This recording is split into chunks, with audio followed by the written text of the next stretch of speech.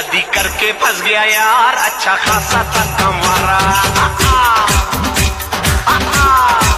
वो शादी करके फस